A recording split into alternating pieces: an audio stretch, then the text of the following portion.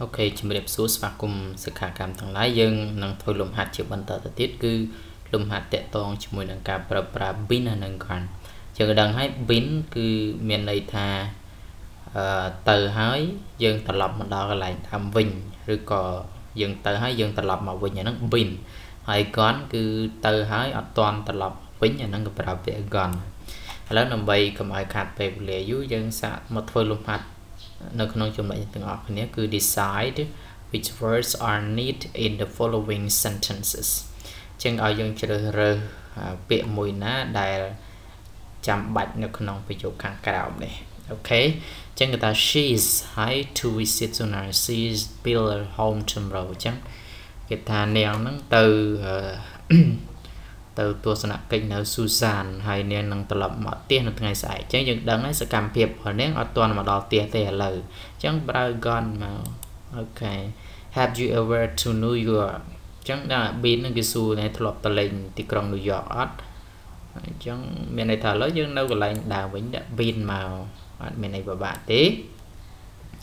ហើយមួយទៀត you are late where have you គេសួរថាអ្នកឯងមកយឺតម្លេះ ហើយអ្នកឯងទៅណាពេលឯងបានទៅណាឥឡូវហ្នឹងមានន័យថាឥឡូវនៅកន្លែង office ហើយអញ្ចឹងយើងប្រើពាក្យអឺ been មកអូខេឥឡូវនៅកន្លែងនេះមានន័យថាឥឡូវមកហើយណា where has service he was here a minute ago គេសួរថាឯណាឯណារីហ្នឹងគេថាមុនហ្នឹងនៅប្រហែលនាទីមុននៅនឹងឯងអញ្ចឹងគឺ gone ឥឡូវមិននៅនឹងទៀតហ្នឹង gone ឃើញទេ អូស្រួលណាស់ she was offered a new job and has to London គេថាអ្នកហ្នឹងរកការងារបានណា offer នាងគេផ្ដល់ការងារថ្មីហើយក៏ទៅណាគេថាទៅទីក្រុង London អញ្ចឹងឥឡូវមកវិញនៅនៅឯអញ្ចឹងសុខភាពដាក់កនមក so i'm so tired អូខ្ញុំធ្វើការខ្ញុំហត់នឿយណាស់ អីខ្ញុំធ្វើការពេញមួយថ្ងៃអញ្ចឹងតម្រងរបស់វាគឺ been អានេះ present perfect continuous ហើយមួយទៀត I don't know that restaurant I have never ខ្ញុំអត់ដឹងភោជនីយដ្ឋានហ្នឹងទេខ្ញុំមិនដែលធ្លាប់នៅទីទៅទីនោះសោះអញ្ចឹងដាក់ been មកឥឡូវនៅទីនេះតោះណាមិនដែលទៅមកវិញហើយ Are you are you okay your skin has already គេសួរ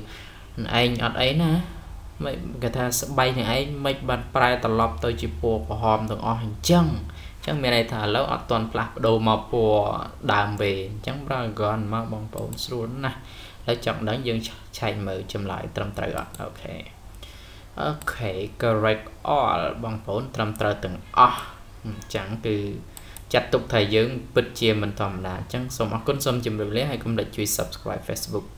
YouTube Channel របស់ខ្ញុំបាទបងសូមអរគុណសូមជម្រាបលា